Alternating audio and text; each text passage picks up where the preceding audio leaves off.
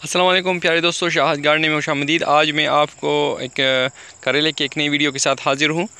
मैं आपको आज एक रिव्यू दूँगा करेले की प्लांट्स की, जैसे कि आपको दिखाई दे रहा है। माशाल्लाह, काफ़ी प्यारा प्लांट्स है और इस प्लांट में करेले के फ्लावर के साथ साथ करेले के छोटे छोटे करेले भी लग गए हैं।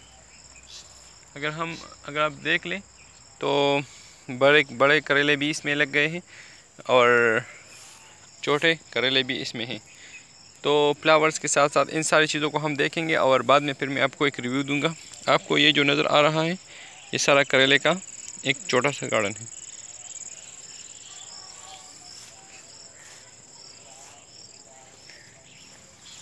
उस साइड पे भी करेले हैं। अभी मैं आपको जस्ट रिव्यू देना चाहता हूँ कि ये दोनों गार्डन एक दूसरे से कितने मुख्तलिफ़ हैं। ठीक है, एक फ़ील्ड में तो हैं, लेकिन ये बिल्कुल एक दूसरे से अलग है। अगर आप इस साइड पे देख ले तो ये बिल्कुल येलो है और उधर देख ले तो ये बिल्कुल ब्लैक है। वो बहुत सरसब्ज़ हमारा गार्डन है करेले का। उसका मेन वजह यह है कि उसकी जो जगह थी वो हमने काफ़ी सॉफ्ट बनाई थी, उसमें हमने देसी खाद मिलाया था और वो उसके लिए हमने प्रॉपर एक ख़ास मनसूबे के तहत हमने उसको बनाया था। ये किया था। ये एक बहुत बंजर ज़मीन थी। पानी बिल्कुल इसका नहीं होता। और इसके साथ साथ इसको हम इतना टाइम भी नहीं देते। तो ये अगर आप, हम आपको दिखाएँ तो इधर तो गुजारा हो रहा है, लेकिन इधर बिल्कुल खाली जाल है। तो कोशिश रहे। जब भी आप करेले उगाते हो, उसके लिए ज़मीन को बिल्कुल सॉफ्ट बनाना होता है। आपको दिखाई दे रहा है, बिल्कुल खुशक है।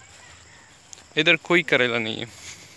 अगर आप देख ले तो ये नहीं कि करेला करेला हमने इधर लगाया है।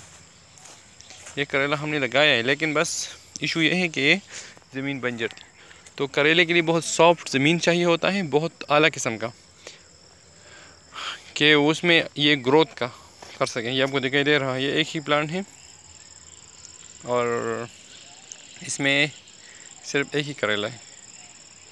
तो बस मैं आपसे इस पे वीडियो एंड करूँगा कि करेले के लिए जो न्यूट्रिशन होता है, जो देसी खाद होता है, बहुत अहम होता है, उसको दिया करे, पानी भी दिया करें टाइम के साथ साथ, फिर आप देख लें कि कैसे करेले देते हैं।